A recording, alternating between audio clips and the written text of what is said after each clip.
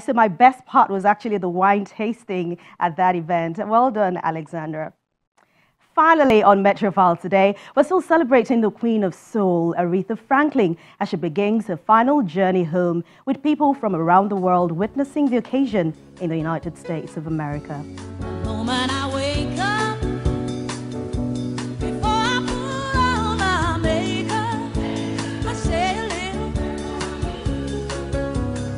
From the United States to Nigeria and the world over, fans bid farewell to the Queen of Soul, Aretha Louise Franklin.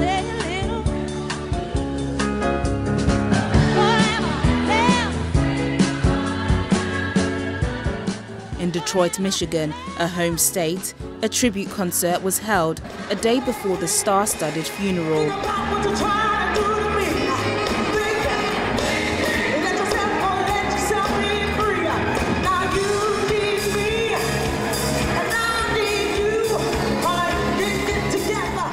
It kicked off the proceedings. The local trooped in their numbers to the outdoor show, dubbed a people's tribute to the Queen.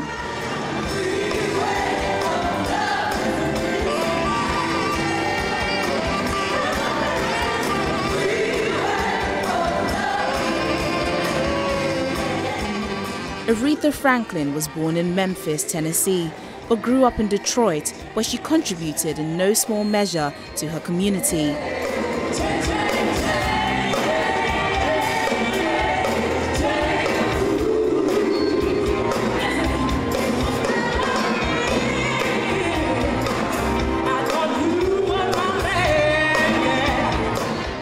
Her life, she brought something, and in her death, she brought something. She brought us together, and people stopped listening to the nonsense and just started doing the things we like to do, which was good music. Uh, she gives me feeling, she gives me soul, she lifts me up when I'm down.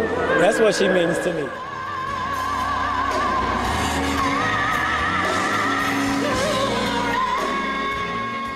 The next day, Greater Grace Temple Church was swelled with gospel music for the funeral of the multiple Grammy Award winner, driving mourners to their feet to clap and sing along.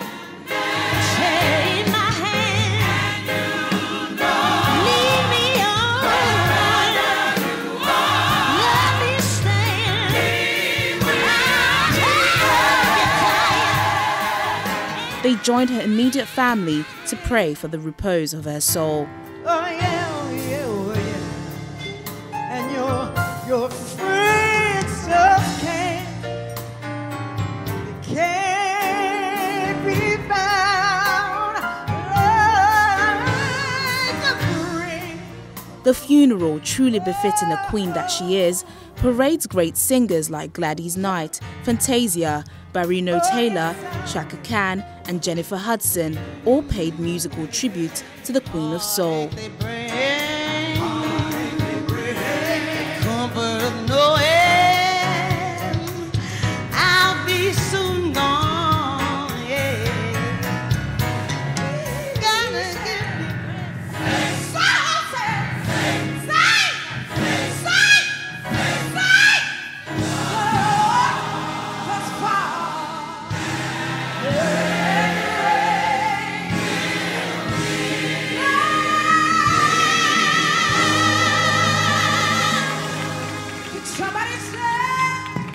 The first black president of the United States. Please receive the Honorable William Jefferson, Bill Clinton. Give God praise for Lady Hillary Clinton here as well. Leading those who eulogized the great singer is former President Bill Clinton, who was at the funeral with his wife Hillary. He paid glowing tribute to a woman who headlined his 1993 inauguration. And all these people who loved her and were awestruck and said, Can you believe she showed up? And she sang not one song, not two songs, not three songs. She had to bring a chair out and she sang for 45 straight minutes.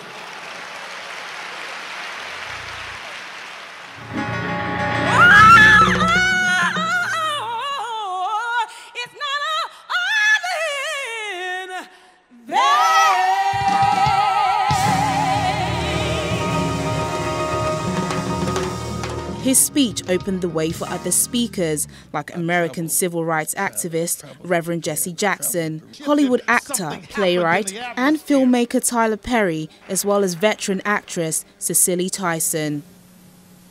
She spoke to us through her soul and everything she experienced. And that's why, no matter what she was singing, she moved every single person. And what I'm glad about is that I had an opportunity to know this woman, to know that she had this power to stand in between all these different genres and touch us in all these different ways. I've traveled to China, I've traveled to Japan, I've traveled to the Caribbean, all around the world. I've seen, I met, worked with Dr. King, worked with Mandela. I've seen a lot and been a lot of places, but I've never seen the righteous forsaken, nor the seed beg for bread. Just sleep on, Aretha. See you in the morning. You know what I say is true.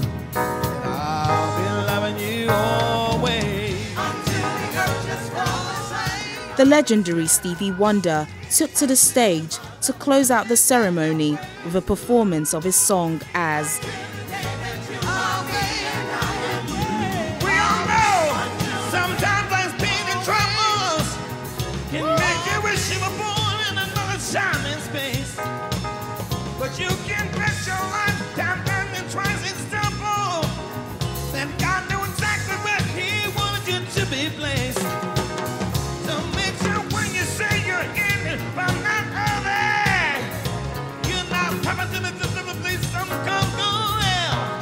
After the service, her body was taken to where she was finally laid to rest at Woodlawn Cemetery.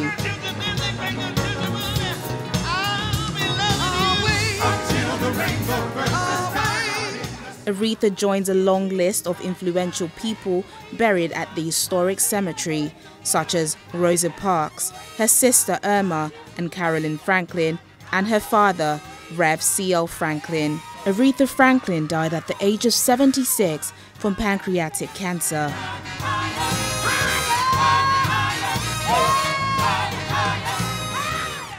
Wow, a true queen who deserves all the honor. She remains in our hearts forever.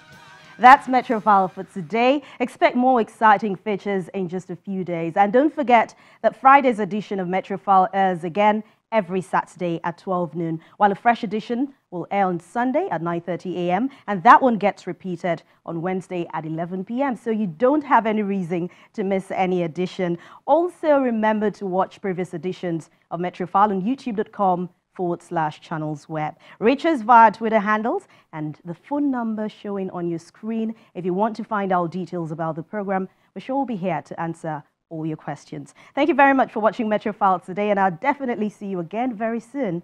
I'm Anne Wawadu. Take care.